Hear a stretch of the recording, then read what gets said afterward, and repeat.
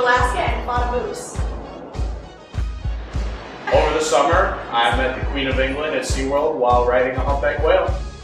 Over the summer, I went to Seaport with this kid. Yes.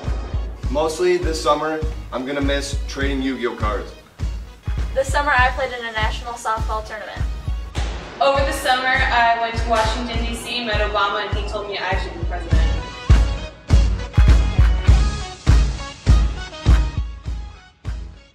This district is fantastic. Um, last year was my first year in it, and I quickly fell in love with this district. It has a, a lot of hard-working families, um, people who really appreciate the, the job that teachers do, and I see it as a place where hopefully I'll spend the rest of my career.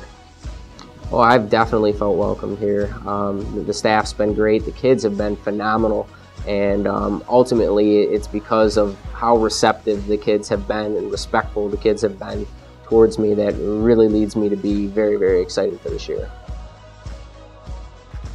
I felt really welcomed here at Romeo High School. Um, I didn't know anyone coming in, and both the administrators and students have been great. And being my second year, it's been really awesome to have students from last year come back and say hi, drop in, see how I'm doing, and let me know how they're doing as well.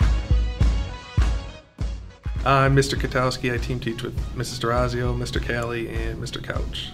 I'm looking forward to being more involved with Romeo, uh, becoming a good teacher, and having a good day every day.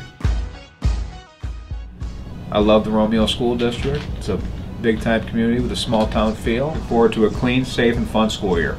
I'm just nervous about the new job in general. It's a lot more work, it's a lot more responsibility, a lot more headaches.